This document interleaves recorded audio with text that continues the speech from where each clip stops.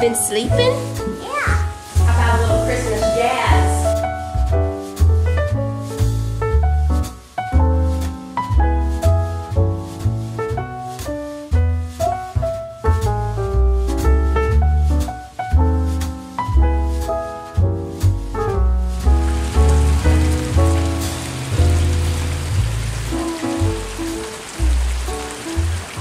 Good morning, y'all. The rain has returned, and so has winter. It turned into winter time, like overnight or something. Manly's getting his jacket. We stepped out there on the porch for a minute just to look at the rain, and mm-mm. You definitely need to bundle up out there this morning, right?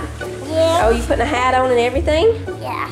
You put your arm, you're putting it on upside down. No. That's crazy. That was. Now, uh, I cooked you more. So all the rest of the kids are finishing up, making up their beds and getting ready for school. I already put Jonah and Audra's seat work out for the day. They'll bring their laptops and everything in here when they finish getting ready. They've been wanting to do their schoolwork at the counter because we got these stools about, I guess it's been about a week ago now. We haven't had any stools there for close to two years, maybe a year and a half at least. It's been a while since we got rid of those last stools we had. We got a really good deal on some. It was a Black Friday sale years and years ago, and they were great stools, but they started falling apart after so long because, you know, we used them every single day. And so when all of those were done, I mean, they were like seriously just falling apart. We just never got any more. I couldn't really find any that I liked or any at a good deal. But last week, Titus went to this factory outlet, furniture factory outlet store to get two new mattresses for a couple of the kids' beds. They needed new mattresses. So he went to get two twin mattresses from there. And we've been seeing on their sign that they had a sale going on, but it's a furniture factory outlet store. So there's always a sale. You know, they're always on sale. But this was a big one because they're, I don't really know if they're going out of business or if they're, they moved like six hours away, I think, or something like that. They're just closing this one down and trying to get rid of everything. So everything in the store was on an extreme sale. So he brings the mattresses home and this over here, and I actually wanted this whenever we got our other furniture. So the couch and love seat, all the furniture that we have right now, we got that from that factory furniture factory outlet store too.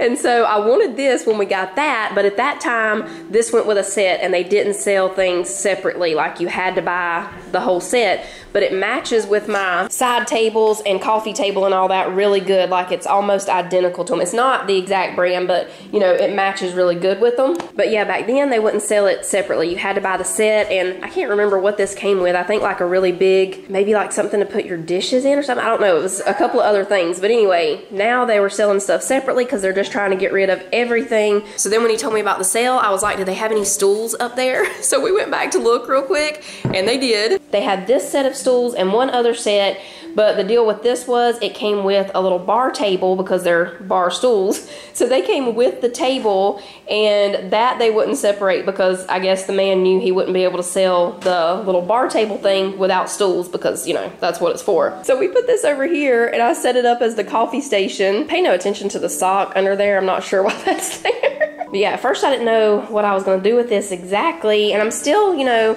I'm going to leave it here for the holidays and all because it'll be really fun to set up the hot cocoa bar over there.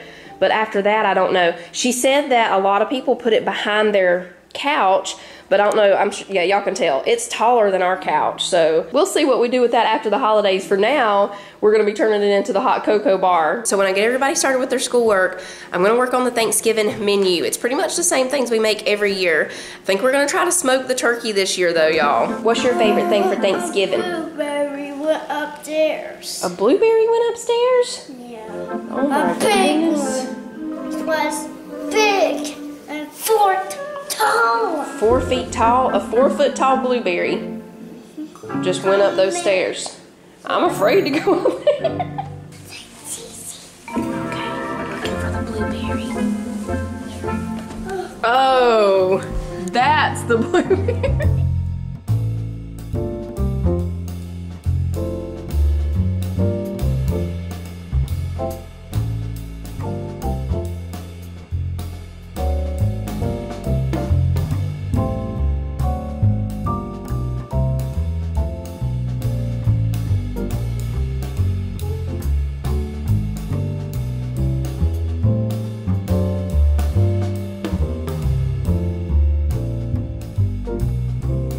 Okay, the Thanksgiving menu is done. I'm pretty sure this is everything for appetizers. We're gonna have sausage balls, and I just put tomato and basil here. Y'all know those little toothpicks that we make with a grape tomato, a basil leaf, and some little, we usually use mozzarella cheese, I think. Everybody loves those things, even the kids love those. then I'm gonna do a cheese and cracker tray, and I put rolls on appetizers, but really, you know, it could probably go with sides, but I'm either gonna make my homemade yeast rolls, or I might try to make a brown bread roll, like those Sara Lee ones that we got from the store, or I might just buy some of those Sara Lee ones from the store. I haven't decided yet, but we have rolls there. And then drinks, I have sweet tea, punch and eggnog. I made a Thanksgiving punch last year, but I think I'm gonna try a new one this year. And then of course we're gonna have a turkey. Like I said, we're gonna try smoked turkey this year.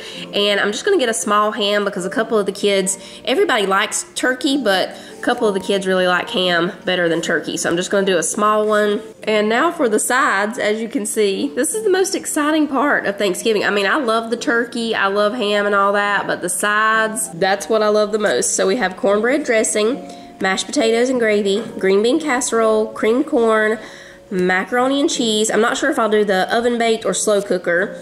Uh, then we have cranberry sauce, sweet potato casserole, and the new things that I'm going to try are some cranberry sweet carrots.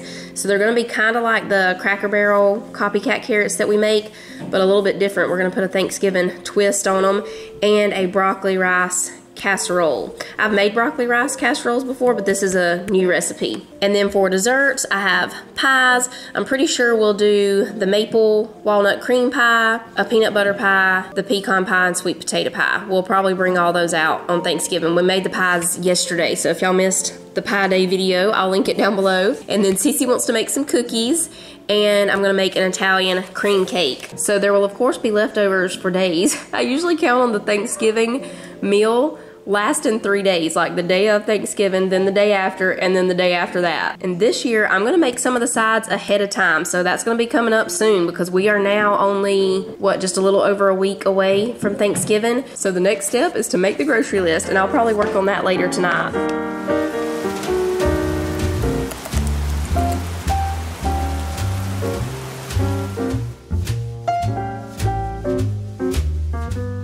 Okay, y'all, I'm gonna go ahead and get supper in the Instant Pot. Tonight, we're gonna make pulled pork nachos. Do y'all remember in the video when we went to the mountains, I think it was, yeah, Timberwood Grill. We ate there and we got some pulled pork nachos. They were great. So we're gonna recreate that tonight. We bought this pork shoulder like three or four weeks ago, I guess. Titus bought one and I bought one, and so we put this one in the freezer, and I sat it out the night before last, I think, so it could be thawing out in the refrigerator. So now I'm gonna open it up. I'm gonna do this over the sink because it's gonna leak out everywhere. But all I'm gonna do is season it with this Sweet Preacher pork rub, and we're gonna put it in the Instant Pot for an hour and a half. Okay, so I got this plate because I thought it would be big enough, but this is a pretty big pork shoulder here. So we're having the pulled pork nachos plus tacos. I have soft shell or hard shell. Thank you, Jonah. Thank you very much. He got me another little mat here. I can put this on. He's working on his drawings this afternoon. Giant squid. Yeah. And the shark is about to eat the giant squid. Yeah.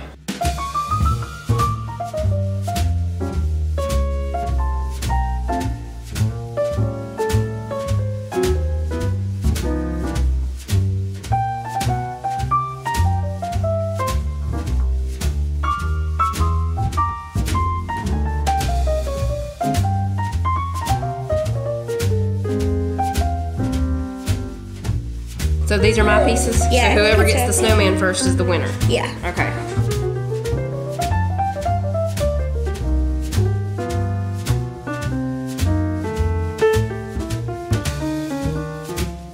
We need a six and Cece needs a six. This is getting close. Whoever rolls the first six is the winner.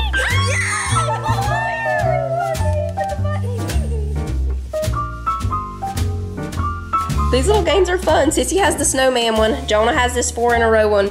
We got them from Walmart. They're $2.98. They had, I think, four or five different kind. All right, just 10 minutes left over here. I'm gonna go ahead and start getting everything else ready. We're gonna slice a tomato, green bell pepper, and a red onion.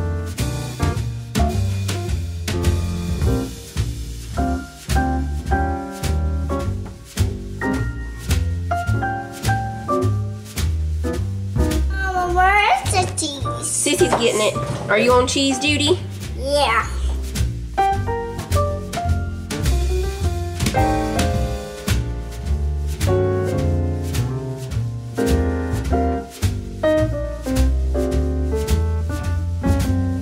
Not sure, but I feel like that cheese might be in danger over there with you.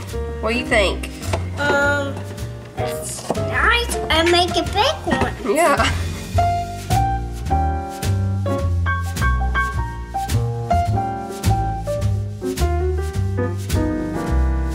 We have tortilla chips for those who want nachos, crunchy taco shells, and soft shells. Now, the way they fix the nachos at the Timberwood Grill is they used sour cream, barbecue sauce, and they had tomatoes, bell pepper, red onion, and they had peppers. I'm trying to think what else. Oh, yeah, some cheese. It looked like there was Swiss cheese on those. I can't remember when we were there if that was Swiss cheese, but when I look back on the video, it totally looks like Swiss cheese. I mean, it really does. So I got some Swiss cheese. Okay, so we've got the tortilla chips on there, the Swiss cheese. I just put it in the microwave for about 30 seconds to melt it. Now we're gonna put on the pulled pork, and me and Titus will probably share this plate because this is gonna be a lot, but I just wanna show y'all how they do it at the restaurant. Now, the one that they bring out is even bigger than this. It's like really, really big. Now, some shredded cheddar on the top, and the tomatoes, peppers, and onions. The kids are already going for tacos except Sissy. She picked nachos. Okay, now these peppers. Let me get a fork. Now the barbecue sauce and the sour cream. Then you just sprinkle a little parsley or cilantro. That's it.